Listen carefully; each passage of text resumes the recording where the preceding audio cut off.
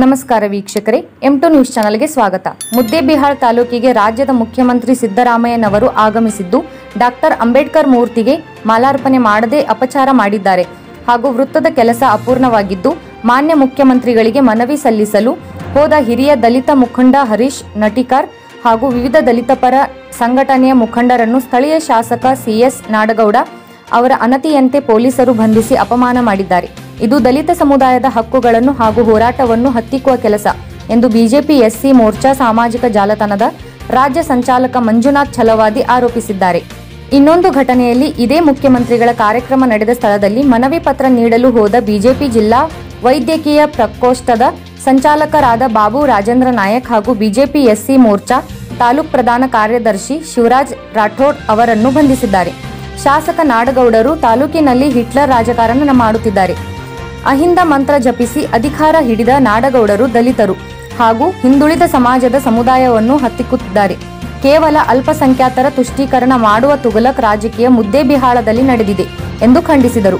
ಇದೇ ಸಂದರ್ಭದಲ್ಲಿ ಮಾಜಿ ಶಾಸಕ ಎಎಸ್ ಪಾಟೀಲ್ ನಡಹಳ್ಳಿ ಅವರ ಬಗ್ಗೆ ಏಕವಚನದಲ್ಲಿ ಮಾತನಾಡಿದ ಕಾಂಗ್ರೆಸ್ ಮುಖಂಡ ಸಿದ್ದಣ್ಣ ಮೇಟಿ ವಿರುದ್ಧ ಅವರದೇ ಭಾಷೆಯಲ್ಲಿ ಹರಿಹಾಯ್ದರು. ಇದೇ ಚಾಳಿ ಮುಂದುವರಿಸಿದರೆ ಮುಂಬರುವ ದಿನಗಳಲ್ಲಿ ನಾಡಗೌಡರಿಗೆ ಪ್ರತಿ ಹಳ್ಳಿ ಗಲ್ಲಿ ಗಲ್ಲಿಗಳಲ್ಲಿ ದಲಿತರು ಕಪ್ಪು ಬಾವುಟ ಪ್ರದರ್ಶನ ಮಾಡುತ್ತೇವೆ ಎಂದರು. ಇದೇ ಸಂದರ್ಭದಲ್ಲಿ ಬಿಜೆಪಿ ಎಸ್ಸಿ ಮೋರ್ಚಾ ತಾಲೂಕು ಉಪಾಧ್ಯಕ್ಷರಾದ ಶೇಖಪ್ಪ ಆಲೂರ್, ಮಾಂತೇಶ್ ಕಂದರೂನೂರ್ ಸಹೋದರರು ಹಾಗೂ ನಮ್ಮ ಸಮಾಜದ ಹಿರಿಯ ಮುಖಂಡರಾಗಿರ್ತಕ್ಕಂಥ ಶ್ರೀಯುತ ಹರೀಶ್ ನಾಟೇಕರ್ ಅವ್ರನ್ನ ಹಾಗೂ ನಮ್ಮ ಪಕ್ಷದ ಉಪಾಧ್ಯಕ್ಷರಾಗಿರ್ತಕ್ಕಂಥ ಮಾಂತು ಕಂದಗನೂರವ್ರನ್ನ ಅದೇ ರೀತಿ ಎಸ್ ಸಿ ಎಸ್ ಟಿ ದೌರ್ಜನ್ಯ ತಡೆ ಸಮಿತಿಯ ಜಿಲ್ಲಾ ಸದಸ್ಯರಾಗಿರ್ತಕ್ಕಂಥ ಶ್ರೀ ಬಸವರಾಜ್ ಪೂಜಾರಿ ಅವ್ರನ್ನ, ಅದೇ ರೀತಿ ನಮ್ಮ ಯುವ ನಾಯಕರಾಗಿರ್ತಕ್ಕಂಥ ಪ್ರಕಾಶ್ ಜಲ್ಪೂರ್ ಅವ್ರನ್ನ ಬಂಧಿಸಿ ಗುಪ್ತ ಸ್ಥಳದಲ್ಲಿ ಇಡುವ ಮೂಲಕ ದಲಿತರನ್ನ ಹಕ್ಕುಗಳನ್ನ ಹತ್ತಿಕ್ಕುವಂಥ ಕೆಲಸವನ್ನು ಸನ್ಮಾನ್ಯ ಶ್ರೀ ಮುದ್ದೇಬೇಳದ ಸ್ಥಳೀಯ ಶಾಸಕರಾಗಿರ್ತಕ್ಕಂಥ ಸನ್ಮಾನ್ಯ ಶ್ರೀ ಸಿ ಎಸ್ ನಾಡಗೌಡ ಅಪ್ಪಾಜಿ ಅವರು ಈ ಒಂದು ದಲಿತ ವಿರೋಧಿ ಧೋರಣೆಯನ್ನು ಮಾಡ್ತಿದ್ದಾರೆ ಅಂತಕ್ಕಂಥದ್ದು ಭಾಳ ವಿಷಾದನೀಯ ಸಂಗತಿ.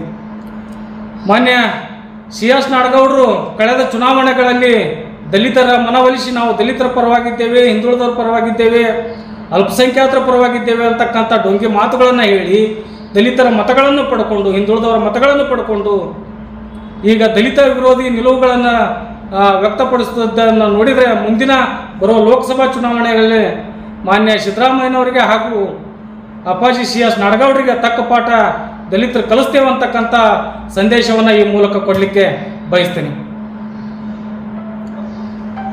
ಅಂಬೇಡ್ಕರ್ ಅವರ ಸಿದ್ಧಾಂತವನ್ನು ಹೇಳಿಕೊಂಡು ಅಧಿಕಾರಕ್ಕೆ ಬಂದಿರತಕ್ಕಂಥ ಮಾನ್ಯ ಸಿದ್ದರಾಮಯ್ಯನವರೇ, ಅಂಬೇಡ್ಕರ್ ಅವರಿಗೆ ಒಂದು ಸೌಜನ್ಯಕ್ಕಾದರೂ ಒಂದು ಗೌರವ ಕೊಡತಕ್ಕಂಥ ಕೆಲಸ ನಿಮ್ಮಿಂದ ಆಗಲಿಲ್ಲ. ಇಡೀ ದಲಿತ ಕುಲ ನಿಮ್ಮ ಮೇಲೆ ಭಾಳ ನಿರೀಕ್ಷೆಯನ್ನು ಇಟ್ಟುಕೊಂಡಿರ್ತಕ್ಕಂಥದ್ದು. ಅಂಥ ಸಂದರ್ಭದಲ್ಲಿ ನೀವು ಬಾಬಾ ಸಾಹೇಬ್ ಅಂಬೇಡ್ಕರ್ ಅವರಿಗೆ ಅಪಮಾನ ಮಾಡಿದ್ರಿ. ತಮ್ಮ ಚಾಳಿ ಏನು ಅನ್ನೋದನ್ನು ತೋರಿಸ್ಕೊಟ್ರಿ. ಕಳೆದ ಬಾಬಾ ಸಾಹೇಬರು ಜೀವಿತಾವಧಿಯಲ್ಲಿ ಹತ್ತೊಂಬತ್ತು ನೂರ ಐವತ್ತೆರಡು ಮತ್ತು ಐವತ್ನಾಲ್ಕು ಬಾಂಬೆ ಉತ್ತರ ಲೋಕಸಭಾ ಚುನಾವಣೆಯಲ್ಲಿ ಬಾಬಾ ಸಾಹೇಬ್ ಅಂಬೇಡ್ಕರ್ ಅವರನ್ನ ಲೋಕಸಭಾ ಚುನಾವಣೆಯಲ್ಲಿ ಸೋಲಿಸಿ ಅವ್ರನ್ನ ಅಪಮಾನ ಮಾಡಿ ಅವರನ್ನ ಮೂಲೆ ಗುಂಪು ಮಾಡುವಂಥ ಪ್ರಯತ್ನವನ್ನು ಕಾಂಗ್ರೆಸ್ ಮಾಡಿತ್ತು. ಅದರ ಮುಂದುವರೆದ ಭಾಗವಾಗಿ ನೀವು ಅಂಬೇಡ್ಕರಿಗೆ ಅಪಮಾನವನ್ನು ಮಾಡ್ತಾ ಇದ್ದೀರಿ. ಈ ಧೋರಣೆ ಸರಿಯಲ್ಲ. ದಲಿತರು ಎಚ್ಚೆತ್ತುಕೊಂಡ್ರೆ ನಿಮಗೆ ಉಳಗಾಲಿಲ್ಲ ಅಂತಕ್ಕಂಥ ಮಾತನ್ನು ಭಾಳ ಸ್ಪಷ್ಟವಾಗಿ ಹೇಳಲಿಕ್ಕೆ ಇಷ್ಟಪಡ್ತೇವೆ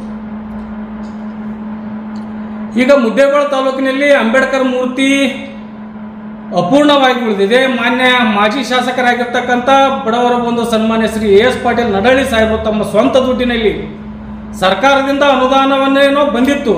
ಆದರೆ ಗುತ್ತಿಗೆದಾರರಿಗೆ ಅನುದಾನ ಕೊಡುವಂಥ ಸಂದರ್ಭದಲ್ಲಿ ಹಣ ಇಲ್ಲದೆ ಇರೋ ಕಾರಣ ಸನ್ಮಾನ್ಯ ಎ ಎಸ್ ಪಾಟೀಲ್ ನಡಳ್ಳಿ ಸಾಹೇಬರು ತಮ್ಮ ಸ್ವಂತ ಖರ್ಚಿನಿಂದ ನಾಲ್ತೋಡ ಮತ್ತು ಮುದ್ದೇಬೇಳದಲ್ಲಿ ಇರತಕ್ಕಂಥ ಮೂರ್ತಿಗಳನ್ನು ತಂದು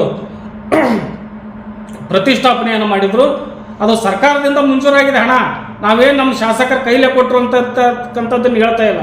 ಸರ್ಕಾರದಿಂದ ಮಂಜೂರಾದಂಥ ಹಣವನ್ನು ಆ ಸಮಯದಲ್ಲಿ ಬಿಲ್ ಆಗದೇ ಇರುವಂಥ ಸಂದರ್ಭದಲ್ಲಿ, ನೀತಿ ಸಂಹಿತೆ ಜಾರಿ ಇರುವಂಥ ಸಂದರ್ಭದಲ್ಲಿ ಮಾನ್ಯ ಶಾಸಕರು ಕೈಯಿಂದ ತಂದು ಒಂದು ಮೂರ್ತಿಯನ್ನು ಅನಾವರಣ ಮಾಡಿದ್ದಂಥ ಕೀರ್ತಿ ಸನ್ಮಾನ್ಯ ಶ್ರೀ ಎಸ್ ಪಾಟೀಲ್ ನಡಾಳಿ ಅವರಿಗೆ ಸಲ್ಲಬೇಕಾಗ್ತದೆ ಇದು ದಲಿತ ಪರ ಹೋರಾಟಗಾರರನ್ನ ಹಕ್ಕಿತ್ತು ಹಕ್ ಹತ್ತಿಕ್ಕುವಂಥ ಪ್ರಯತ್ನವನ್ನು ಮಾನ್ಯ ಸಿ ಎಸ್ ನಾಡಗೌಡ ಅಪ್ಪಾಜಿ ಅವರು ಮುದ್ದೇಬೇಳ ತಾಲೂಕಿನಲ್ಲಿ ಮಾಡ್ಕೊಂತ ಬಂದಿದ್ದಾರೆ.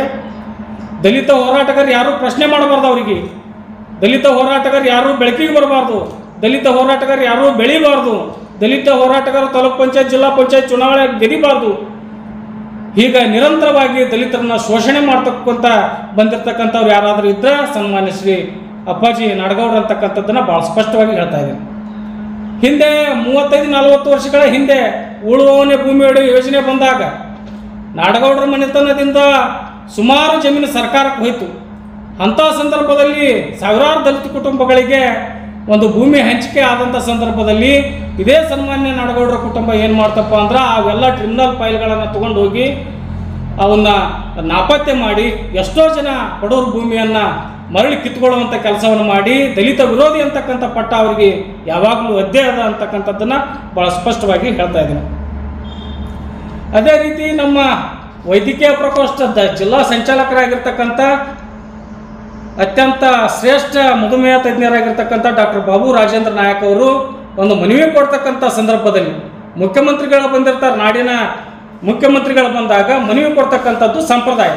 ಆ ಒಂದು ಮನವಿ ಕೊಡಲು ಬಂದಿರತಕ್ಕಂಥ ಸನ್ಮಾನ್ಯ ಶ್ರೀ ನಮ್ಮ ವೈದ್ಯಕೀಯ ಪ್ರಕೋಷ್ಠದ ಜಿಲ್ಲಾಧ್ಯಕ್ಷರಾಗಿರ್ತಕ್ಕಂಥ ಡಾಕ್ಟರ್ ಬಾಬು ರಾಜೇಂದ್ರ ನಾಯಕ್ ಅವ್ರನ್ನ, ಅದೇ ರೀತಿ ನನ್ನ ಇನ್ನೋರ್ವ ಪ್ರಧಾನ ಕಾರ್ಯದರ್ಶಿ ಆಗಿರ್ತಕ್ಕಂಥ ಶಿವರಾಜ್ ರಾಠೋಡ್ ಅವ್ರನ್ನ ಕೂಡ ಬಂಧಿಸಿ ಒಟ್ಟಾರೆಯಾಗಿ ಹಲಿಯರು, ಮಾದ್ರು ಲಮಾಣಿಗಳು, ಭಜಂತ್ರಿಗಳು, ಗೋವಿಗಳು ಈ ಒಂದು ಒಟ್ಟ ದಲಿತ ಕುಲ ಇಲ್ಲಿ ಮುದ್ದೇಬಳ ತಾಲೂಕಿನಲ್ಲಿ ಉದ್ಧಾರ ಆಗಬಾರ್ದು, ಮುಂದೆ ಬರಬಾರ್ದು, ಅವರು ಮುಖ್ಯ ಭೂಮಿಕೆಯಲ್ಲಿ ಬರಬಾರ್ದು ಅಂತಕ್ಕಂಥದ್ದು ಮಾನ್ಯ ಸ್ಥಳೀಯ ಶಾಸಕರಲ್ಲಿ ಸಂಪೂರ್ಣವಾಗಿ ಐತಿ ಅಂತಕ್ಕಂಥದ್ದನ್ನು ನಾವು ಗಂಭೀರವಾಗಿ ಆರೋಪವನ್ನು ಮಾಡ್ತಾ